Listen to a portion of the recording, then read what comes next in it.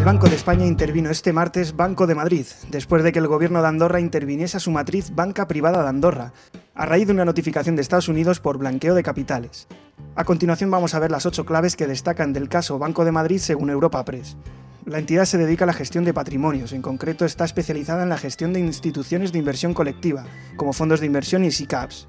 Banco de Madrid nació en 1930 bajo la denominación Banca Suñer. En 1954 cambió su nombre al actual y a mediados de 2011 fue adquirido por la andorrana BPA. La plantilla del banco tiene un total de 264 empleados, según datos a cierre de 2013. Su domicilio social se encuentra en Madrid, en el Paseo de la Castellana. Banco de Madrid tiene más de 6.000 millones de euros en activos bajo gestión. A cierre de 2014 el volumen de negocio de la entidad superaba los 49 millones de euros.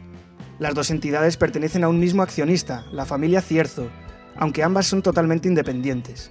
Cada uno de estos bancos cuenta con sus propias estructuras operativas y desarrolla su actividad bajo distintos marcos regulatorios ya que operan en diferentes países. Banco de Madrid disfruta de una buena situación de solvencia, que asciende al 38,4%.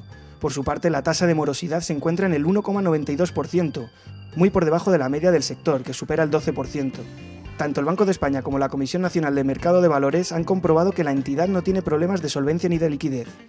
El presidente de la entidad es José Pérez Fernández, exdirector de supervisión del Banco de España, mientras que Joan Pau Miquel Prats es el consejero delegado.